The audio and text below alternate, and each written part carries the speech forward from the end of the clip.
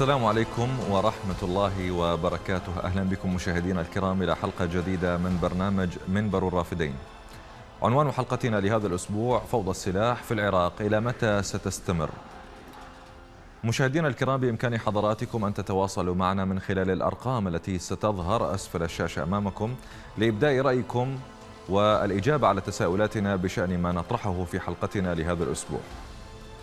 يعاني العراقيون منذ 2003 إلى يومنا هذا فوضى أمنية وخروقات وانتهاكات مستمرة وسط عجز أو تواطؤ حكومي في التصدي لمفتعلي هذه الفوضى الأمنية. حيث أصبح العراق بيئة طاردة لأبنائه بسبب الميليشيات وفرق الموت والعشائر بدقاتها التي نشرت الرعب والخوف بين صفوف العراقيين ولا تزال. ورغم كل الوعود الحكومية التي أطلقها رؤساء الوزراء بعد 2003 بحصر السلاح بيد الدولة إلا أن لا شيء تحقق من هذه الوعود بل بالعكس تنامت القدرات العسكرية للميليشيات والعشائر لتصل إلى قوة تضاهي ما لدى الأجهزة الأمنية الرسمية في العراق بشهادة زعماء هذه الميليشيات أنفسهم. هنا نطرح مجموعة من التساؤلات مشاهدينا والتي ننتظركم للإجابة عليها. هل يأمن العراقيون على حياتهم في الداخل؟ وما الذي منع حكومات ما بعد 2003 من حصر السلاح بيدها؟ وهل تعتقدون أن القوات الحكومية تقوم بواجبها بشكل صحيح؟ ثم ما هو رأيكم بالدقة العشائرية؟ هذه الأسئلة وغيرها التي سنطرحها في هذه الحلقة بإمكانكم أن تشاركوا من خلال أرقامنا للإجابة عليها لكن قبل ذلك دعونا نشاهد مشاهدينا معا هذا التقرير الجرافيك الذي يبين بعض الحقائق حول الانهيار الأمني في العراق. لنتابع.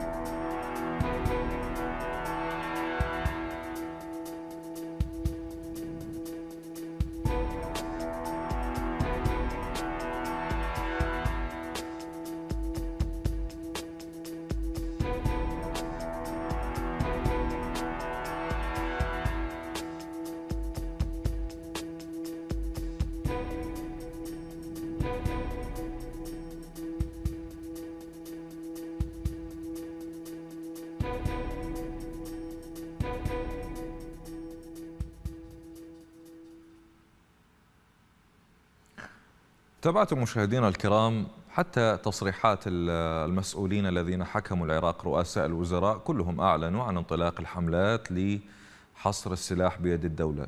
انتهت ولايتهم جاء غيرهم وعد نفس الوعد أعلن انطلاق حملة حصر السلاح بيد الدولة لكن رحلوا ولم يحصر السلاح بيد الدولة. نبدأ باستقبال اتصالات حضراتكم معنا السيد أبو محمد من هولندا. تفضل يا أبو محمد حياك الله عليكم أخي. وعليكم السلام ورحمة الله وبركاته. حياك الله. أه شكرا أخي. أنا بصراحة حبيت أوضح أكثر. نعم. لكن أه وقد سبق وإن تحدثنا بهذا الموضوع. الحكومات اللي يجي يتوعد على أساس ما يبقى سلاح بيد بيد العشائر أو بعض المسلحين خارج عن النظام. نعم. ولكن بالعكس بده ينطي سلاح للناس اللي حتى ما عندهم سلاح الآن نزاع العشائري إذا يصير بالجنوب يستخدمون حتى SPG 9 هل حتى الهاونات حتى PKC. ما ما أعرف يعني بالضبط الدبابه مستخدمين له لا يعني أي حكومة يجي هو يدعم يدعم يكون سلاح بيد العشائر حتى يصير فوضى حتى ما يكون أمان للعراق. يقول والله ما ما نقدر نسيطر يعني ما سيطرنا. حتى يكون انفلات أمني على موت الناس ما يفكر آه، بالجوع وما يفكر بعدم التعيين وما يفكر ببعض الشغلات. هذا يشغلون الناس.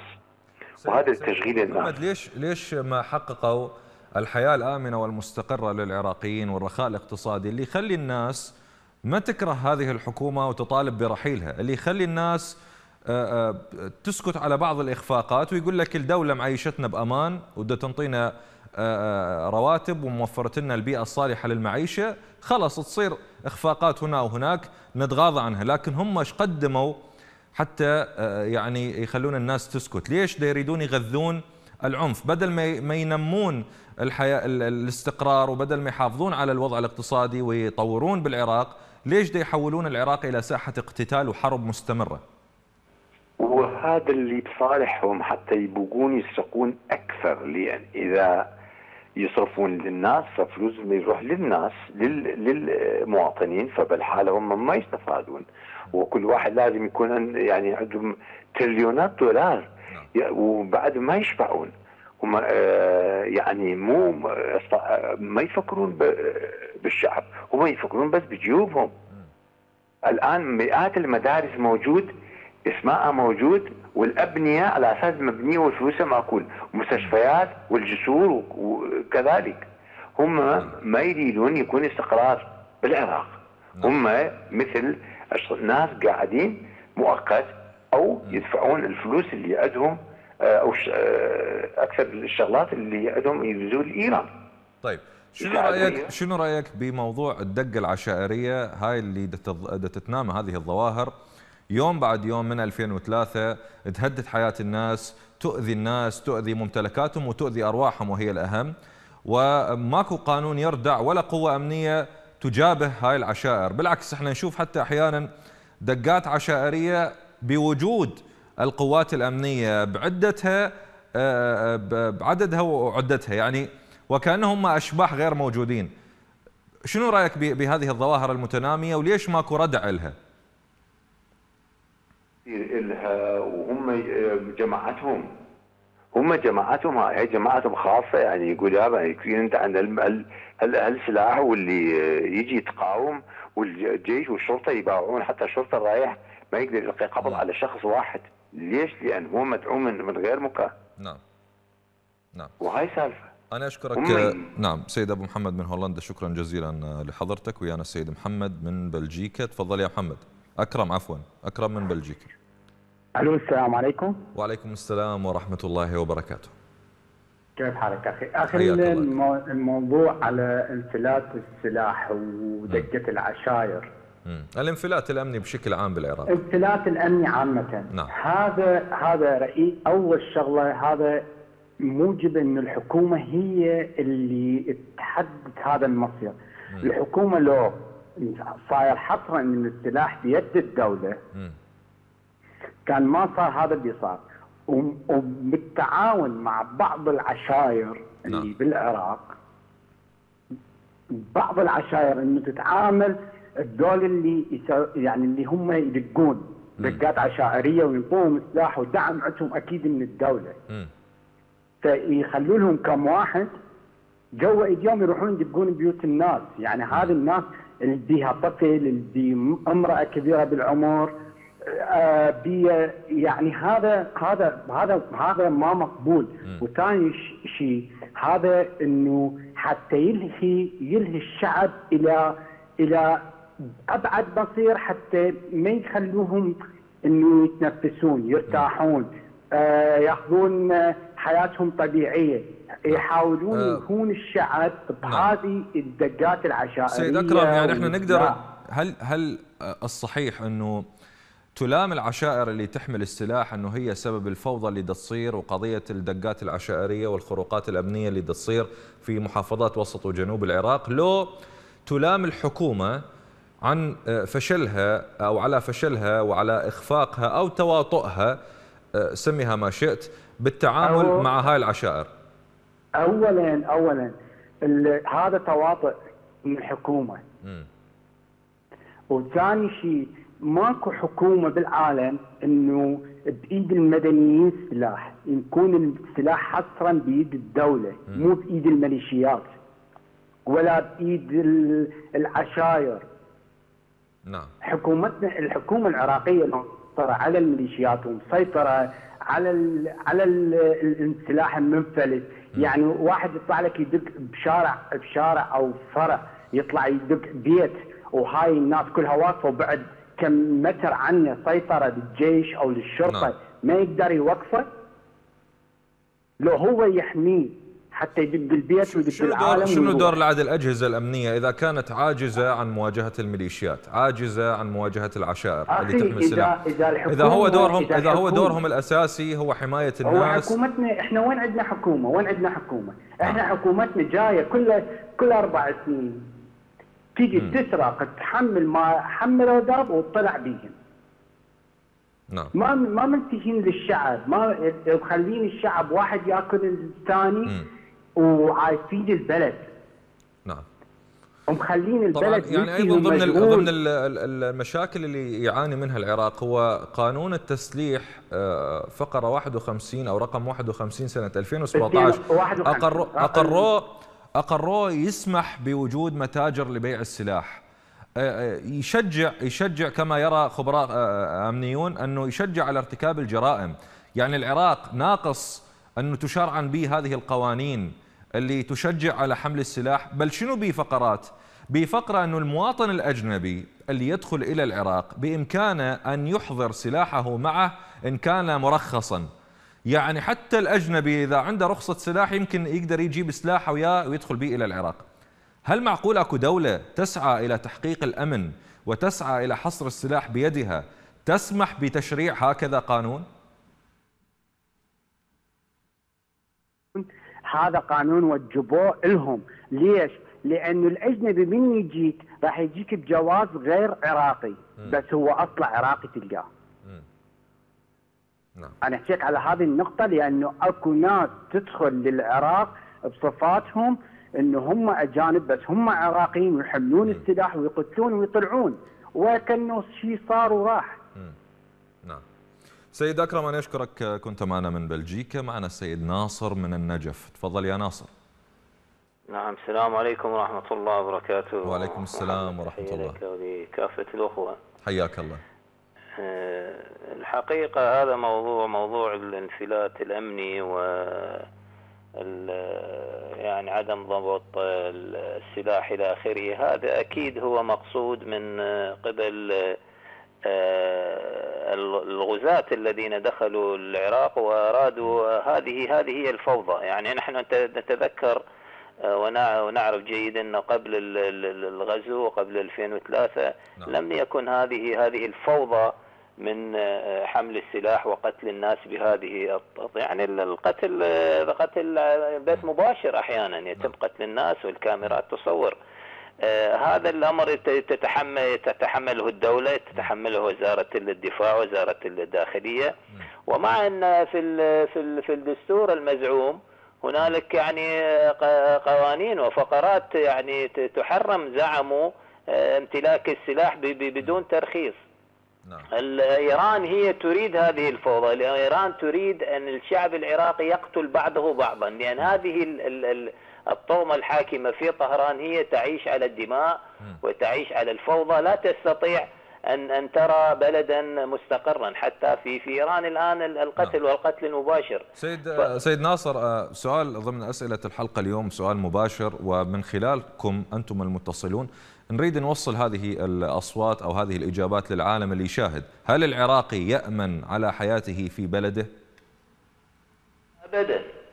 العراقي لا يأمن لا يأمن كثير من العراقيين والمستثمرين وغيرهم وحتى المستثمرين لا يريد أن يرجع العراق بسبب هذا الأمر لأن لا لا يصل. قتل العصابات موجودة. الدخول على التجار على في في كل في كل مكان. حتى الإنسان يعني البريء حتى الآن الشخص يعني يقتل من أفراد عائلته. كذلك استغلال البعض أفراد القوى الأمنية مكانتهم في في في قتل الناس. آه، هذا مشكلة مشكلة يعني عويصة كبيرة وتحتاج إلى إلى إلى جهود حتى يعني ننهي هذا الأمر. هل طيب هي يعني أكو جزئية قد قد يرد البعض من الذين يدافعون عن هذه السلطة مثلا أو عن الأحزاب بشكل عام. يقول لك إحنا بدنا نمشي بشوارع بغداد وبالليل وما علينا شيء. السؤال هل اليوم إذا تعرض مواطن مواطن عراقي إلى اعتداء من أو إلى مثلا ظلم معين أو اعتداء من قبل أحد أفراد عشيرة معينة تملك السلاح هل يوجد قانون أو قوة أمنية قادرة على حماية هذا المواطن من دقة عشائرية مثلا؟ لا طبعا لا طبعا هذا الأمر آه، يعني معروف إنه هذه قضية الدق العشائريه وسلطة العشائر هي قلت لك أخي محمد هذه مقصودة حتى لأن إيران لأن ماذا اركز على إيران؟ إيران لا تريد أن تكون في العراق هنالك قوة واحدة تسيطر على المشهد الأمني في هذه هي هي القضية الآن. حتى نعم. تضعف الوزارة الداخلية وزارة الدفاع وإلى آخره. يبقى هنالك والميليشيات كذلك. هكذا نعم. تكون فوضى حتى تسيطر عليه. لا يستطيع أحد أن يسيطر وحتى الإنسان العراقي يعني يعيش بأمان. سيد ناصر أخيرا موضوع الدقة العشائرية آه، أزمة من الأزمات الأمنية اللي تؤرق حياة الناس. اليوم المواطن العراقي يخاف وخاصة بالوسط والجنوب يخاف إنه يتلفت يمنى ويسرى يخاف لا يجي واحد يشمر نفسه عليه قدام سيارته قدام دراجته ويبتليه ويصير الموضوع بفصل ودقة عشائرية وإذا ما تدفع فلوس نرش بيتك بالطلقات. هذا الموضوع شلون تنام وكيف تسمح دولة بأنه تمتلك عشائر؟ يعني رشيد فليح يقول بالبصرة أكو عشائر عندها سلاح يضاهي فرقتين عسكرية. هو قائد شرطة ويعترف بهذا الشيء ومع هذا لا أحد يتحرك. نعم هذه مشكلة عويصة فعلا وقلت لك النوايا سيئة جدا بحيث سمحت لها لبعض. يعني هذا هذا الشيء غير معقول. يعني العشائر والشيوخ المزعومة المفروض يعني يحتكمون إلى إلى الدولة كذلك إحنا نتكلم في هذا الموضوع مع بعض الأخوان بعض المثقفين. يقول لك هؤلاء جبروا على أن يقوموا بهذا لأن القوات الأمنية لا تسمع لا يعني تؤمنهم ولا تأخذ حقوقهم. فالتجئوا لها. هذه فوضى عارمة أخي محمد. يعني يحتاج لك إلى وقت نعم. وإلى جهود حتى ننهي هذا الوضع المجري في العراق. طيب. أنا أشكرك شكرا جزيلا سيد ناصر من النجف. آه، مشاهدينا الكرام آه، دعونا نذهب إلى فاصل قصير ومن بعده نعود لنكمل الحديث في حلقتنا لهذا الأسبوع.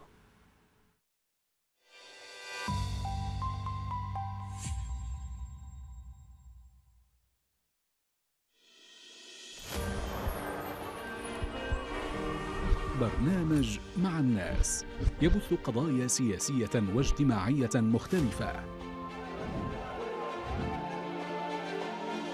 معاناتنا ليس لها حل ما لها مثيل أبد بكل العراق نازل نازل نازل خرجنا مطالبين بإزالة هذه المنظومة السياسية من جذورها. من من المدرسة للشغل من الشغل للمدرسة. وما نقدر حالتنا تعبانة نعيش مع الناس لنكشف ما يواجههم من مشاكل يومية.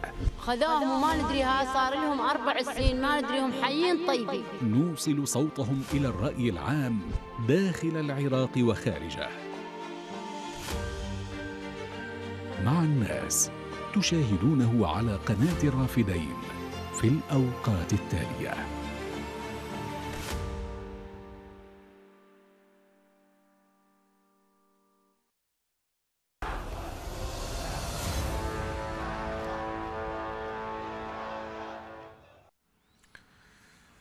حياكم الله مشاهدينا الكرام مرة ثانية. أهلا بكم إلى حلقة هذا الأسبوع من برنامج منبر الرافدين طبعا نزلنا إلى الشارع والتقينا ببعض الناس مواطنين عراقيين سألناهم عن رأيهم بموضوع الدقة العشائرية.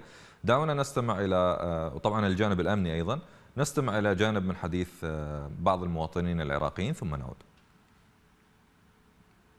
خصوص الدقات العشائرية. إحنا نرفض هذه الظاهرة لأن ظاهرة غير إيجابية ظاهرة سلبية ظاهرة لا الشيوخ ترضى بها ولا العشائر بس نوبات مثل ما تفضل الشيخ أبو رشيد. سبقنا بالكلام. من قال ضعف القانون؟ نعم أكو ضعف في القانون أكو ضعف في الأجهزة الأمنية. بعض الأحيان إحنا تصير نزاعات عشائرية بين كل العشائر ببغداد والدولة عتها علم بيها. القانون يعني خارج قوس يعني كتر روح. يعني لو ما دور دور العشائر وجهاء العشائر وشيوخ العشائر ما ينحل النزاع.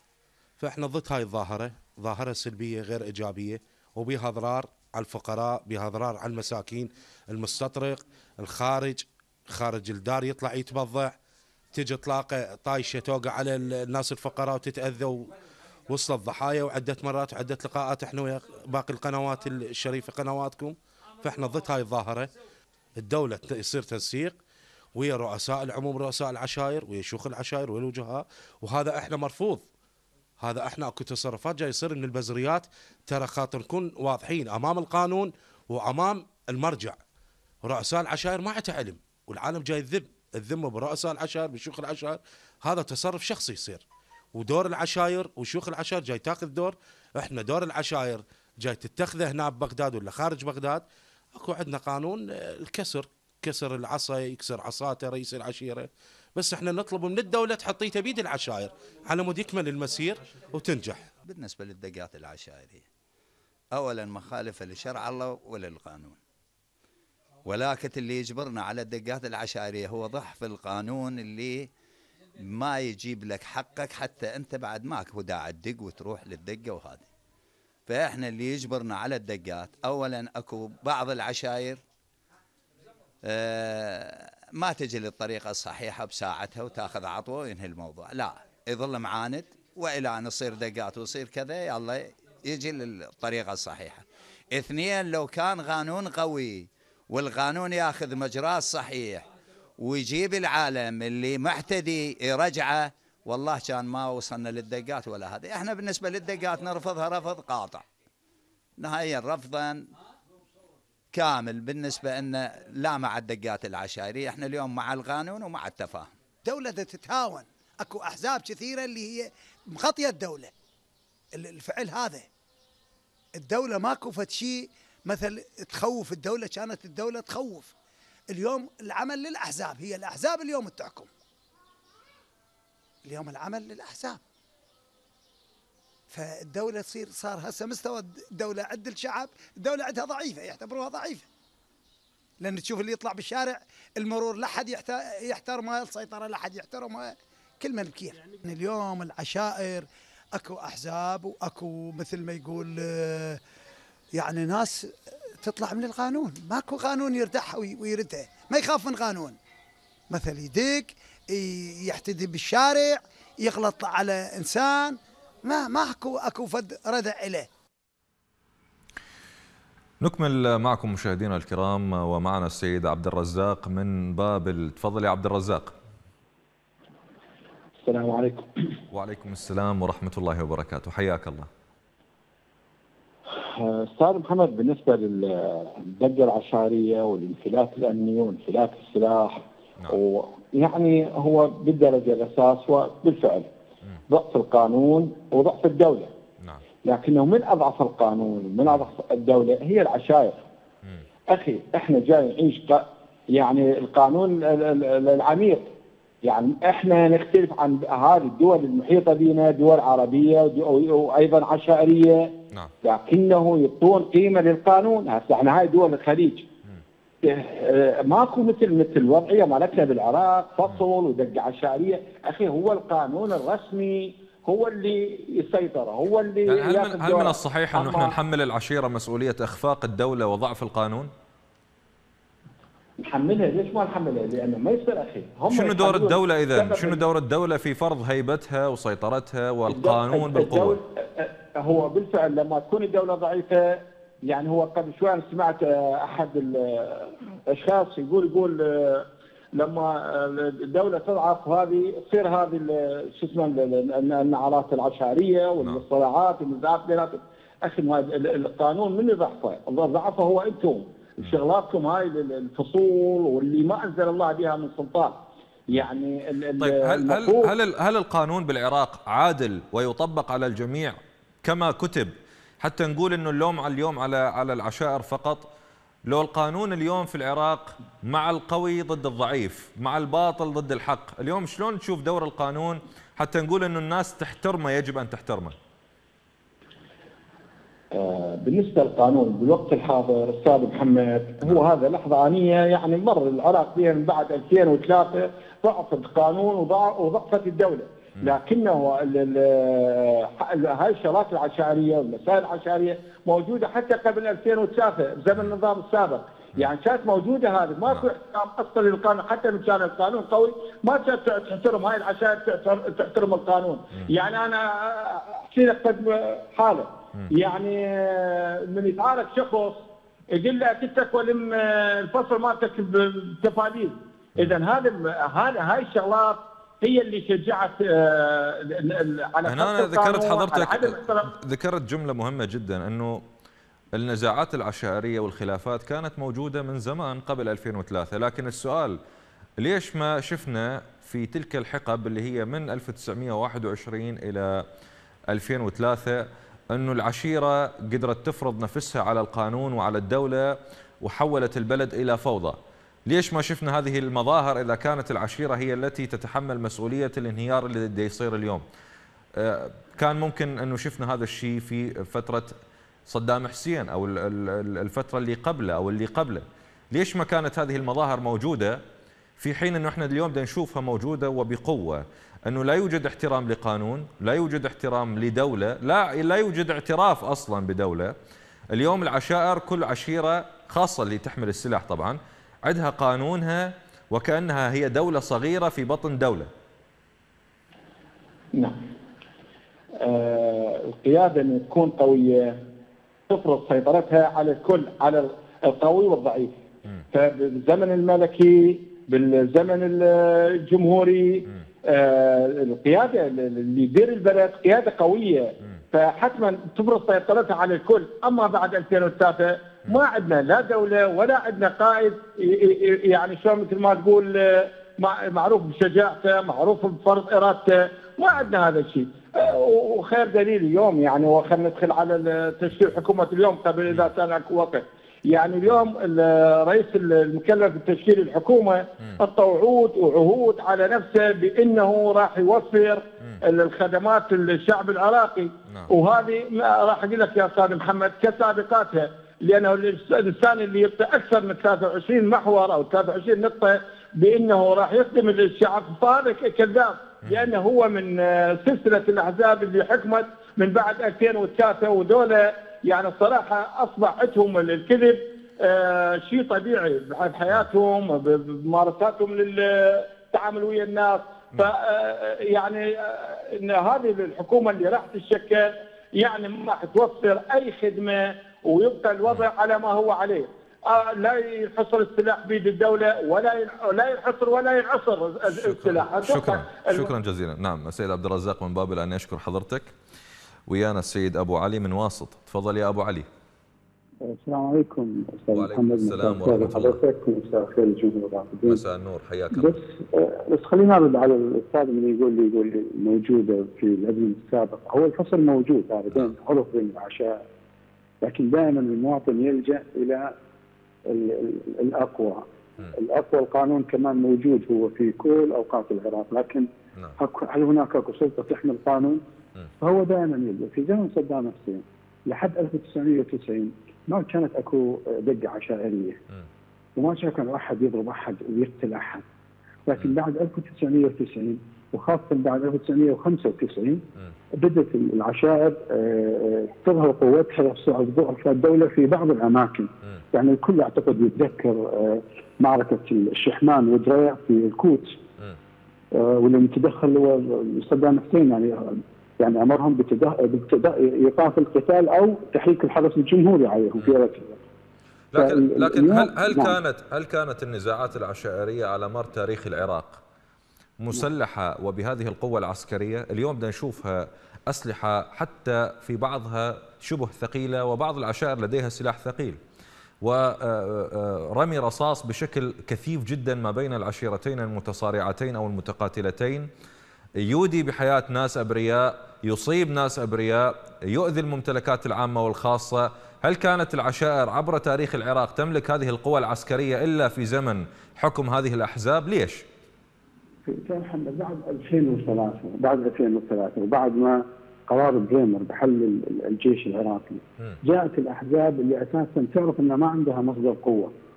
فلذلك أعطت الأشخاص والعشائر السلاح حتى تهجم مثل ما قال أعتقد محافظ البصرة قال إنه عند أسلحة العشائر تكافئ تكافئ يعني أجهزة أمن الدولة. نعم فرقتين نعم. عسكريتين نعم. بالضبط. وكذلك اليوم اليوم الميليشيات ترى هي شنو؟ هي يعني كالعشائر لكن ما تابعة العشيرة وإنما تابعة الشخص. نفس الشيء. هذا أستاذ محمد الآن لو على سبيل المثال كان القوة الأمنية أقوى من الميليشيات ومن العشائر سنة 2019 ألا يستطيع الجيش أن يتدخل ويحمي المواطنين في وقتها كان اليوم اليوم الجيش بالعراق اليوم الأجهزة الأمنية قوات التدخل السريع وهذه التشكيلات اللي انصرف عليها أكثر من 160 مليار دولار بحسب أرقام الحكومة لغاية عام 2016 بدنا نتكلم. عاجزة كل العجز عن التدخل وفض النزاعات العشائرية فرض قوة الدولة إلقاء القبض على العشائر المتصارعة اللي اللي بدون أي شكل قانوني أو حق ان هم يحملون سلاح سحب السلاح من هذه العشائر مقاضاتهم على الضرر البشري والمادي اللي دي يسووه هذا الكلام كله ما موجود إذا كانت القوة الأمنية لا تتدخل لفض نزاع عشائري لا تسحب سلاح من ميليشيات وتحاسبها وتحاكمها شنو دورها إذا؟ هي أستاذ محمد لسببين ما تقدر تتدخل، السبب الأول ان الاحزاب مسيطرة على الجيش وعلى الشرطة، م. هذا السبب الأول، والسبب الثاني اليوم الميليشيات أقوى من الجيش وأقوى من الشرطة، يعني يمكن أقوى أقوى تشكيل بالعراق الآن موجود. تابع للسلطة على أساس. تابع للسلطة هو قوة مكافحة الإرهاب. نعم. لزعامه الساعدي. والبقيه ما يقدر أنه يعني يجابه وحدة من الميليشيات الموجودة تحت انضواء الحشد. واليوم المشكلة اليوم المشكلة أنه الميليشيات أخذت دور قانوني. انها هي تحت يعني تحت عباءة الحشد اللي يعتبر هو من مؤسسات الدولة العسكرية. وهذا هذه الجريمة الكبرى إني اجمع لي مرتزقة واجمع لي ميليشيات وادخلها داخل الإطار الأمني للدولة. وهي اليوم ما تؤتمر بأمر القائد العام للقوات المسلحه تؤتمر بأمر أحزاب تابعة ولائيا وقياديا إلى خامنئي واللي هم مرجعهم طبعا آه، في, في يوم في, في يوم من الأيام طلع حيدر العبادي آه، بخطاب وقال إنه يعلم بوجود عنده بالأسماء وبالسجلات 100 فصيل مسلح غير قانوني يحملون السلاح بشكل غير قانوني. كان رئيس حكومة والقائد العام للقوات المسلحة ولم يتخذ إجراء واحدا ضد المئة فصيل أو على الأقل فصيل واحد منهم. شفنا آه، كثير من الميليشيات اللي صارت بينها وبين الحكومة مواقف بالبصرة أو في بغداد حزب الله وغيرها. وشلون تم آه، آه، يعني إبطال هذه التهم وإسقاط هذه التهم من هذه من على هذه الميليشيات وكأن شيئا لم يكن رغم ان هم مضبوطين بجانب منصات إطلاق صواريخ واللي آه، حرقوا مقرات في البصرة واللي اعتدوا على أجهزة أمنية. شنو دور العد رئيس الحكومة القائد العام للقوات المسلحة اللي يحرك الجيوش إذا هو يعلم بوجود 100 ميليشيا بأسمائهم ومقراتهم وما تحرك. أستاذ محمد هو أساسا أكبر رئيس وزراء متقلب في زمن العراق هو حيدر العبادي. حيدر العبادي أفضل مرسوم غير قانوني والرئيس الوزراء لا يصدر مراسيم جمهورية بانضواء الحشد تحت القيادة العامة للقوات المسلحة. وهذا أكبر خطأ. وهو ما دام يعرف الميليشيات يمكن يقول عندي 100 100 فصيل مسلح. ما أعلنهم لسبب لسبب إنه من اللي خلاه رئيس وزراء؟ هم نفسهم الميليشيات خلوه رئيس وزراء اليوم اللي يتحكم البلد ميليشيات مو أشخاص ولا أحزاب. تتوقع إنه حكومة محمد الشيع السوداني راح تختلف عن سابقاتها وتكون أداة لضرب الميليشيات ولضرب من يحمل السلاح خارج إطار القانون والدولة؟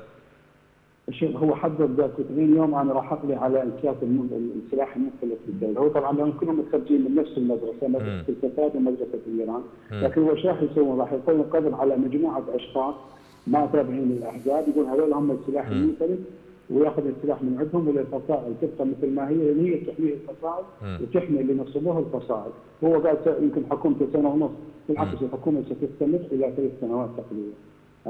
طيب. شكرا جزيلا آه، سيد أبو علي من واسط. آه، استمعتم مشاهدينا الكرام إلى حديث الناس وإلى حديث المتصلين سواء اللي اللي قابلناهم في الشارع أو الذين اتصلوا وشاركوا يعني الكل يجمع أن الدولة ضعيفة، الدولة فاشلة ضعيفة، هناك البعض من يرى أنها متواطئة بقضية الانهيار الأمني لأنها مستفيدة من فكرة الفوضى المستمرة في العراق لأنها ستعود عليها بالمنفعة المادية بالمكاسب الاقتصادية تقوية النفوذ السياسي وحتى العسكري الموجود في العراق بالنسبة لهذه الأحزاب أو للشخصيات. إذا هي تريد الفوضى في العراق هي تدعم فكرة الفوضى من وجهة نظر كما قلنا البعض لأنها المغذي لهذه الأحزاب أو الشخصيات من الناحية المادية تقوية مناصبهم السياسية ومراكزهم في الدولة ويكونون محصنين من أي مساءلة قانونية من أي ملاحقة لأنهم يمتلكون ذراعا عسكريا بإمكانه أن يهدد أو يضرب كل من يقف في طريقهم. هكذا يرى البعض. معنا اتصال؟ السيد أبو عمر من بغداد تفضل. حياك الله أستاذ محمد المحترم وحيا القناة والساده المشاهدين الكرام. أهلا وسهلا أبو عمر حياك الله. آه، أستاذ محمد إحنا نعرف إن الدولة تكون آه، يعني لها مكانتها وهيبتها واسمها يعني عند شعبها واسمها يكون عند كافة الدول من دون العراق، العراق هو شيء يعني كبير أمام العالم كله، لأنه العراق في الماضي وفي السابق كان له هيبته وله رئاسته وله حكومته وله قائدته وله جيشه وله ضباطه وله كل الأمور ما ما يعتمد بأنه هو دولة ذات سيادة ذات قوة ذات اسمة ذات شهرة ذات مواقف جيدة. هذه كانت قبل السقوط الاحتلال الأمريكي. فللأسف العراق اليوم نجده غير العراق الماضي. كان له هيبته وكان رؤساء وكان له حكومته والملوكية والعهد الملوكي. كل هاي الأمور اختلفت. صار 20 سنة ما بين الاحتلال لحد الآن، العراق الآن سيطرت عليه الأحزاب وسيطرت عليه الميليشيات، ما برئيس حكومة أو رئيس دولة يعتمد عليه الشعب أو يعتمد عليه العالم لأنه هو العراق ذات آه، هيبة ذات عراق آه، له مكانه ذات له سيد يعني يصير صوت بالعالم كله. فللأسف هاي أحزاب السلطة خربت هاي الهيبة وخربت هاي السلطة اللي عندنا بالعالم كله. فاختلافه يعني اختلاف جذري ما مرت علينا حكومات سابقة مثل هاي سلطة الأحزاب ما بنعدها يعني طيب يعني خلي خلي نسال خلي نسأل عن عن الرأي اللي طرح آه، هناك آراء مختلفة. هناك البعض يرى بانه آه، الحكومات اللي جت بعد 2003 ضعيفة وبالتالي سمحت للميليشيات وللعشائر أو لأي جهة تريد تحمل السلاح خارج إطار القانون مؤمنة ومطمنة أنه هي ما راح تواجه مشاكل قانونية. هل تعتقد أنه هذا الكلام صحيح أنه الدولة ضعيفة؟ لو تشوف انت وجهة النظر الأخرى اللي تقول الدولة متواطئة، دولة مو ضعيفة لكنها متواطئة بالتعامل مع الملف الأمني وتسمح هي للميليشيات وللعشائر إنه يظل عندهم سلاح حتى تستمر الفوضى حتى هم يستفادون. ويا أي رأي أنت آه، تميل أو إلى أي رأي؟ آه، أستاذ بالنسبة هو يعني الشكل العام والشكل الصحيح هو مبين انه الدولة يعني ضعيفة قوية بسلاحها، قوية بالقتل، قوية بالتهجير، قوية بال آه، يعني من كل نزاعات عشرية وهاي النزاعات عشرية آه، يعني نعرف وياها سلطة الأحزاب والميليشيات اللي هي تدعم بالسلاح وبالقوة، أما الدولة والقانون هذا ضعيف يعني لأنه هي الأحزاب هي اللي مسيطرة على العراق وعلى الشعب العراقي، يعني إحنا عندنا بكل المحافظات في العراق اللي موجودة وبشكل عام بالعراق هي كلها ميليشيات وسلطة احزاب، لأنه ليش؟ والسبب قاعد نشوفه بأنه الأجهزة الأمنية من تصير نزاع عشائري أو تصير يعني من نوع اعتقالات أو تصير من نوع قتل. نجد القوات الأمنية نشوفها أمام هذه الأحزاب وهاي الميليشيات. ما تقدر تسوي شيء من ما حد مواطنين يسأل بأنه تدخل تدخل القوات الأمنية أمام هذا الضغط إذا كان نزاعات عشائريه آه، رمي إطلاقات نارية أو قتل أي شخص نجد إن القوات الأمنية ما تتدخل. ضعيفة أمام هاي سلطة الأحزاب. فعندنا سلطه الأحزاب هي أقوى من القوات الأمنية. اليوم طيب عندنا تعال تعال سيد أبو عمر إلى نقطة خلينا نتكلم بها هي نقطة العشائر. هسه إحنا آه، سمعنا إلى بعض الآراء اللي تقول بانه العشائر شافت الدولة ضعيفة أو القانون آه، آه، غير عادل وبالتالي لجأت إلى طريق أخذ الحق بقوة السلاح أو بقوة الذراع. لكن إحنا تعال نشوف اليوم بعض العشائر اللي موجودة في وسط وجنوب العراق اللي هي تمتلك السلاح. ليش ما استخدمت هذا السلاح في سبيل مواجهة الظلم في سبيل آه، دحر الميليشيات آه، محاربتها ضربها ضرب الطرف الظالم اللي يأذي العراقيين. ليش وقفت إلى صف أو بنفس الطريق اللي تمشي به الجهات اللي تظلم العراقيين تنتهك آه، حرماتهم تعتدي على العراقيين؟ ليش صارت مثلهم؟ مع أنه هي عشائر لها قيم ولها مبادئ وأخلاقيات. ليش ما صارت مع الناس وليس مع الحكومة؟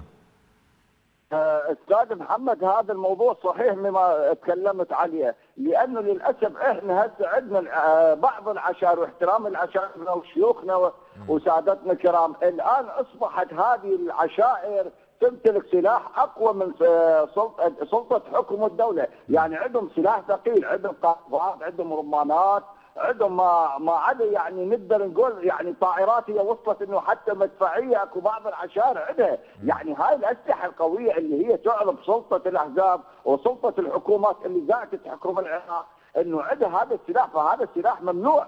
يعني ممنوع لازم تتحاسب على العشائر. لكن للأسف نلقى حكومة سلطة الأحزاب هي من تدفع المال وهي من تدفع لهم السلاح هي من تدفع لهم القوة وهي من تدفع لهم بأنه هذه الفوضى اللي تصبح عندنا بالعراق بأنه الحكومة أنه ليست قادرة على حمي المواطن العراقي بل هي أيضا تريد القتل وتريد سفك الدماء في العراق وفي كافة المحافظات اللي عندنا قاعد نشوف العدة أحيانا يوصل القتال من معارك عشائرية توصل إلى عدة أيام توصل إلى عدة قتلى. يسقطون في الأرض نعم. والحكومات القوات الأمنية ليس لها أي تدخل وليس لها طيب. أي يعني اعتراف بهذا س... الشأن سؤال أبو عمر أه، سألته وقد يرى البعض بأنه سؤال يعني إجابته بسيطة واضحة وما ما تحتاج طرح هذا السؤال لكن إحنا نكرر أنه بعض الأسئلة وإن كانت قد يراها البعض ساذجة لكنها حقيقة هي رسائل توصل إلى من هم في خارج العراق أو من يعتقد أن العراق بلد آمن هل يشعر المواطن العراقي بأمان في بلده يا أبو عمر؟ يشعر بأمان لأنه ما طول هذه كثرة الأحزاب عندنا وكثرة الميليشيات اللي تحكم بالعراق. هي أيضا تكون مع احترامي بعض العشائر ويا هاي سلطة الأحزاب والميليشيات اللي عندنا موجودة آه، بالسلاح، عندنا بعض العشائر احترامي لهم. يعني ما يقدرون إنه لا يمتلكون سلاح ولا يمتلكون قوة بس حتى لا حتى لا نتفرع سيد أبو عمر حتى لا نتفرع بالإجابة، أنا سؤال واضح وإجابة أريد منك واضحة وهو كما قلنا هذه الإجابات هي رسائل إلى الخارج أو إلى من هم في الداخل من هم مخدوعون بهذه السلطة. هل المواطن العراقي يشعر بأمان في بلده؟ أنا اليوم ما سمعت الإجابة من البداية. أكيد أستاذ محمد المواطن العراقي ما يشعر بالأمان من يلقى هذا الفوضى نعم.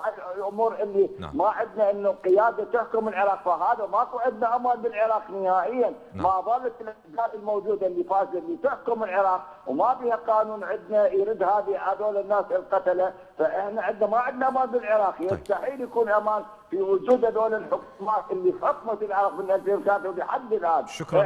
أنا أشكرك يا أبو عمر. شكرا جزيلا كنت معنا من بغداد. يعني كما استمعتم مشاهدينا الكرام وإن كان هو حديث بعض المواطنين العراقيين وإن كانت الأعداد ليست بكبيرة لكنها صدقوني تمثل لسان حال كثير جدا من العراقيين.